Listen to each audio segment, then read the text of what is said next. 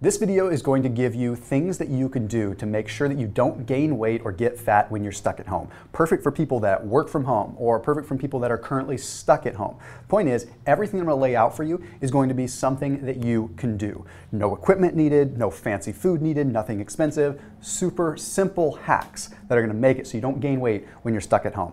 All right, let's go ahead and let's jump right in. But before I do start, can you please hit the red subscribe button if you want to see my daily videos, but also hit the bell icon and make sure you select all notifications, not personalized notifications, because that way you will get notified whenever I post a new video daily so you never miss out. All right, let's go ahead and jump right in.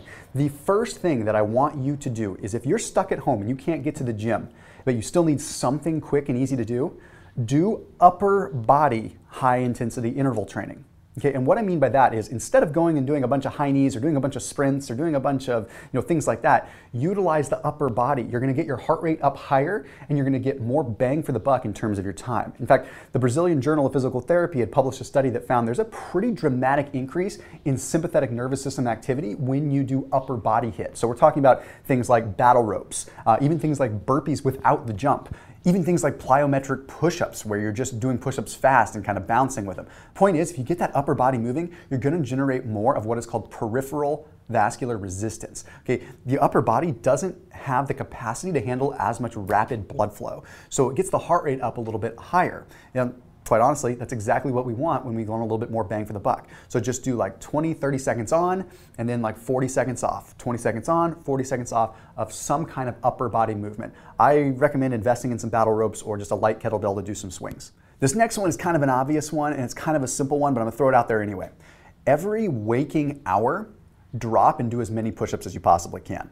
Sounds cheesy, and I know a lot of people do the push up challenge on Instagram, but there's a reason behind doing every hour. We want to constantly be shifting our body between aerobic and anaerobic mode. When we're stuck at home, we're largely in the aerobic mode, and we want to make sure that our cells and our mitochondria are conditioned to switch back and forth between aerobic, where you're just kind of low intensity, and somewhat high intensity, anaerobic, where you're doing push ups. So just trust me on that. Even if it's just 10 push ups every hour, it makes a difference. The next thing is adding apple cider vinegar to every meal when you're stuck at home.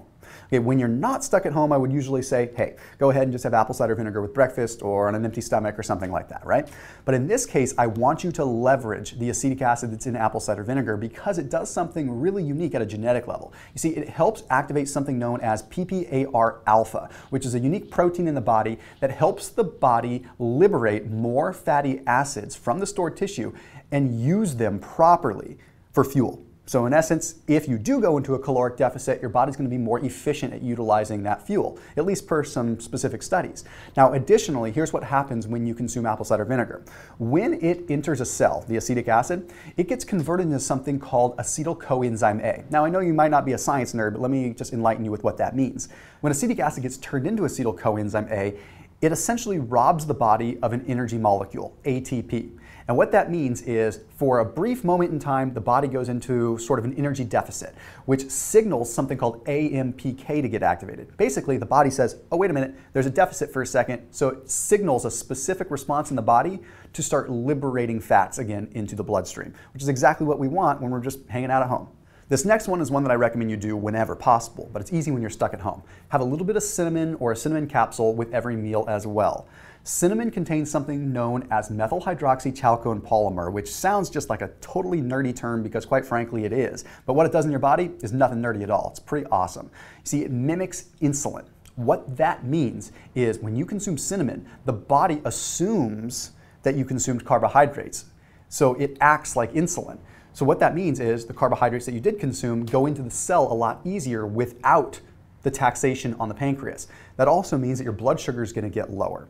What that means is you're not going to have that roller coaster ride of blood sugar rises and falls, right? That is what makes you hungry. And when you're at home, you already have the mental block, that men- oh, I shouldn't say block, but almost that mental sort of uh, activation where you just want to eat. So the blood sugar spikes only make that worse. You might as well keep your blood sugar low, then you don't crave nearly as much. This next one is a really cool hack and one of my personal favorites, and it comes directly out of the European Journal of Clinical Nutrition. We've all heard of MCT oil before, but there's also like MCT oil powders and things like that. Well, MCTs, per the European Journal of Clinical Nutrition, actually increase your resting energy expenditure. They increase your resting metabolic rate when you just sit down and do nothing. They can increase it by up to 5%.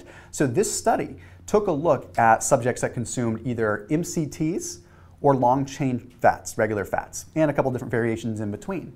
Well, they found when they had a little bit of MCT throughout the course of the day, their resting energy expenditure increased 5%. Why? Because MCTs absorb so fast that it actually triggers a little shock to the body. It's like they absorb so quick that the body goes, whoa, whoa, whoa, what's going on? And it triggers the release of adrenaline, which therefore liberates fats and upregulates overall metabolism. That is awesome. Now you want to take this to the next level, combine it with a little bit of protein. Here's what you have to remember. You should be eating as much protein as you can right now while you're sedentary because A, it's not going to really get converted into fat unless you have a ton of it, but more importantly, 20% of the protein that you consume ends up getting dedicated just to the metabolism of said protein. Protein is hard to digest, so 20% of the calories you get from it just go straight to digestion. So if you combine a little bit of MCT and a little bit of protein while you're sedentary or while you're stuck at home, boom, you've got a great, great solution. If you want my recommendation, I put a link below for Perfect Keto, who has a, uh, a collagen. Technically, it's a keto collagen, but it's still relatively low fat because the fat that's in it is from MCTs. Plus, of course, they have a really good solid source of collagen. So, highly recommend that. Plus, I'm going to make sure that you get a special discount. So there's a link down below in the description that gets you special pricing on Perfect Keto. They are a big supporter of this channel, so thank you, Perfect Keto, but also thanks to any of you that also support this channel by utilizing them. So check them out after you finish watching this video because it's definitely something I would recommend adding into your daily ritual during any kind of time that you are stuck at home. This next one is alternate day fasting. Okay, now this is wild stuff because I'm a big proponent of fasting, but I encourage you to look at your fasting a tiny bit different when you're stuck at home. Okay, alternate day fasting has been shown to have some pretty powerful effects. So what alternate day fasting is is just like it sounds. You go one day of eating normally, and then you go the next day alternate day fasting, where you are going to fast all the way until dinner. So rather than a 16-8 style fast, you're going to go all the way to like 20, 22 hours. But then you eat whatever you want the other day. It's pretty powerful. The journal Cell Metabolism took a look at 60 people and they divided them into a control group or an alternate day fasting group. They told both groups essentially, eat whatever you want, eat however much you want. Well, it turns out that with the alternate day fasting group, they automatically consumed less calories simply because they well, were fasting one day. However, they were allowed to eat whatever they wanted on the other days. They did tend to overconsume a little bit on their eating day, but at the end of four weeks, they lost 7.7 pounds, whereas the other group didn't really lose weight. So alternate day fasting is just a great way to mentally be able to get yourself to get in the game a little bit without having to really think about it. It's so easy. Eat whatever you want one day, alternate day fast the next until dinner. That simple.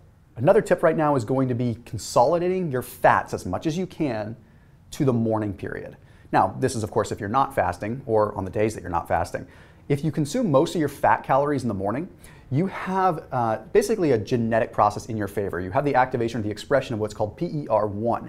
PER1 is an interesting pathway that essentially regulates energy metabolism, but more so regulates uh, the diurnal rhythms that allow us to store or utilize fuel. Now, we have a better process of utilizing this fuel in the morning and not storing it negatively. So basically what that means is you can get away with consuming more fat in the morning and not have it go to storage than you could in the afternoon or evening. It's actually somewhat negligible, but I would say if you allocate 25% more of your calories to the morning than you do later in the day, you're actually in better shape in terms of like how your biological clock is actually working. This next one is pretty simple and it's kind of the opposite of what I just talked about while you are somewhat sedentary, just avoid eating later at night. Try to bump everything up one hour. Here's the thing you have melatonin receptors on your pancreas. So, what that means is when it starts to get dark and your body naturally produces the sleep hormone, melatonin, it actually signals the pancreas to sort of chill out. And what that means is that you're going to have a much higher likelihood of becoming insulin sensitive by eating late at night, especially if it becomes a habitual thing over time. So just bump everything up an hour and you'll be fine. Now, let's also talk about vitamin C. Okay, vitamin C is gonna be the next one. Now, I'm careful not to say to megadose vitamin C, although I will say personally, I like to take a lot of vitamin C. First of all, amazing for the immune system, which we all are concerned with, but also in the case of not gaining weight, it blunts cortisol. So it's also been found that when you are creating lots of cortisol for whatever reason, because you're stressed, you have a higher vitamin C demand. So you do want to make sure that you're keeping your vitamin C levels in check so that it can handle the cortisol, but also it's been shown to blunt cortisol a little bit, so it can potentially help you out with not storing that fat around the midsection, or at least so some of the studies lead to. Then another thing that you can do, which is something you should be doing, well, quite frankly, as much as you can anyway, but when you're stuck at home, it's way easier to hyperhydrate. As long as you're getting your minerals in, your salt, your magnesium, your potassium, hydrate the heck up. Okay, there are now studies that show that consuming 500 milliliters of water can jack up your metabolism up to 30% within 10 minutes of consuming that water. Whoa, what is going on? Well, researchers think it's largely the stimulation of adrenergic receptors. So what that means is uh, again, similar to the MCT thing. You're chugging so much water that all of a sudden the beta adrenergic receptors are just like, whoa, what's going on? Shock. Upregulate metabolism, upregulate uh, adrenaline, catecholamines, uh, epinephrine, norepinephrine, things like that. And voila, you've got an increase in metabolism. That is a pretty significant increase 30%. Now, that might be relatively short lived, but if you stay hydrated all the time, you can see how this could work. Other studies have tried to replicate these exact results, and they're still finding, on average, easily between 3 and 5% regularly increase in metabolism. So, no matter what, we're looking at at least like a 3% increase in your metabolism. You think about that, what that looks like in calories, that's a lot over the course of a month, right? That's a lot of fat that you could be burning simply by hydrating. And you're at home, so drink a bunch because the bathroom's right there. Who cares? The last one that I want to talk about is adding some macadamia nuts to your meals if you're doing something low carb. If you're not doing low carb, forget the extra calories because quite frankly, the calories are going to cancel out the potential benefit. However, macadamia nuts are super unique because they are one of the only foods that has what is called omega-7, palmitoleic acid. Palmitoleic acid is cool in and of itself, but it works synergistically with omega 3s within the body to regulate insulin sensitivity. So it makes you more insulin sensitive and it can control inflammation. There are some studies that show that it potentially modulates inflammation by like 20%.